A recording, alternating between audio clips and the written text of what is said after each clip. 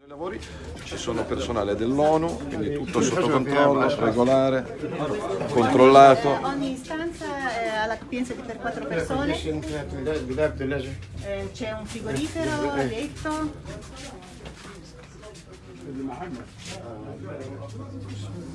Quindi non si può dire che siano campi di prigionia o di tortura, insomma c'è anche il personale dell'ONU. Però è una fase temporanea? Dovrebbe essere un punto di transito per poi riaccompagnare, identificare e allontanare. Quindi لمن يرغب في patrio, أن per chi desidera تبناهم rimanere من الدول volontariamente o chi, eh, i paesi terzi che eh, si assumono la loro, la loro, la loro, la propria accoglienza. كم يستوعب هذا المعسكر؟ Eh, alla capienza di mille migranti. Mille migranti. Poi poi c'è la riammissione in Niger e poi dal Niger teoricamente nei paesi di partenza, però anche su questo l'Europa dorme. dorme. Quindi tutti quelli che dicono che in Libia non si possono riaccompagnare gli immigrati raccolti in mare perché vengono torturati o seviziati hanno in questo campo gestito col controllo dell'ONU la risposta. In alcune situazioni non c'è una realtà del genere. Eh. Abbiamo lavorato molto. Tra l'altro è vicinissimo al palazzo di governo, cioè è proprio هذه الأشياء اللي يقوم بها المنظمة قد تدعوهم إلى البقاء في ليبيا.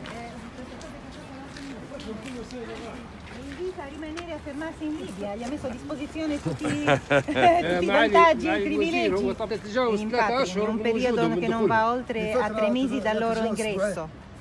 Anzi, addirittura lui Simile a- sta dicendo due settimane. Quindi come dicevo la parte sì. di accoglienza è relativa, la parte importante è la è lo smistamento e il rimpatrio volontario su cui l'Europa deve metterci cash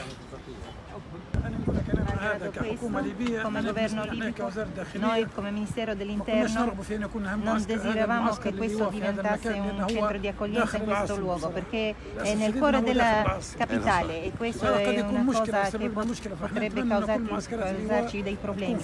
noi desideriamo che questi centri di accoglienza vengano fatti al sud della Libia non qui.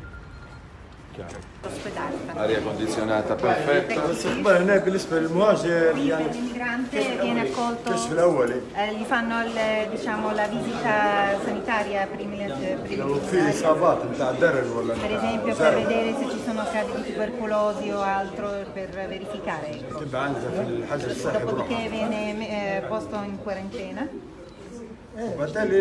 dopodiché per eh, ricevere le, le cure necessarie, dopodiché viene Quindi l'obiettivo ricollocato. poi è quello di, والهدف هو anche di avere un بعد canale ذلك di أن يكون هناك قناة eh, identificazione per coloro che hanno diritto di venire in Europa come rifugiati e coloro che invece devono essere bloccati. اللي هم بحاجه الى اللي هم يمكن تصنيفهم يمكنهم اللجوء السياسي او غير ذلك.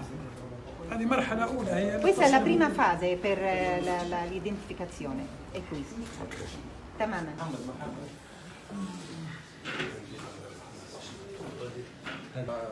طبعا بموافقة السيد وزير الداخلية بدانا في تجديد 500 شرطي. 500 آه، بالإضافة إلى هناك قاطع يختص بالنساء والمستضعفين الأطفال. النساء تشرف على النساء لخصوصيتهن الأول في شمال أفريقيا. riguarda le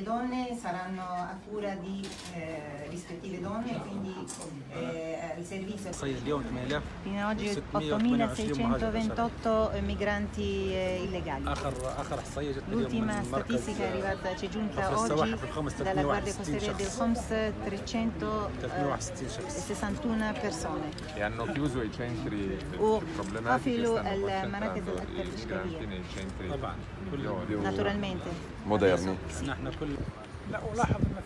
Notiamo che c'è un altro problema, che il numero, le, le cifre che ha appena eh, pronunciato il signor Mohammed sono numeri presso i centri di accoglienza, ma poi i numeri sono molto ancora più grandi all'esterno, e sono in attesa di, eh, di immigrazione o certo. di... Eh,